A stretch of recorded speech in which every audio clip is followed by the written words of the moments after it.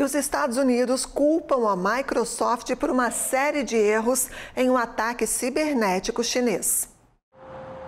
Um relatório do governo americano descobriu que uma invasão nos servidores da Microsoft por parte de um grupo de hackers chineses ocorreu por uma série de erros evitáveis da gigante tecnológica.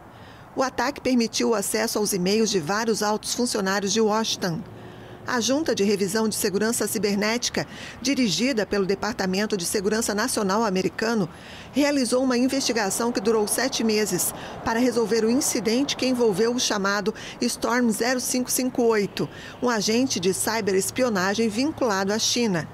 Esse ato de pirataria, que foi descoberto pela primeira vez pelo Departamento de Estado americano em junho de 2023, incluiu ataques a caixas de e-mail oficiais e também pessoais da secretária de Comércio Gina Raimundo, assim como a do embaixador americano na China, Nicholas Burns.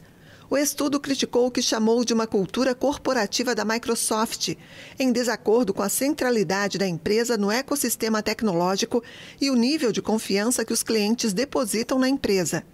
O principal negócio da Microsoft é proporcionar serviços de computação em nuvem que abrigam dados confidenciais e impulsionam operações comerciais e governamentais nos principais setores da economia. O presidente da junta, Robert Silvers, afirmou que é imperativo que os provedores de serviços na nuvem deem prioridade à segurança e a incorporem desde o projeto.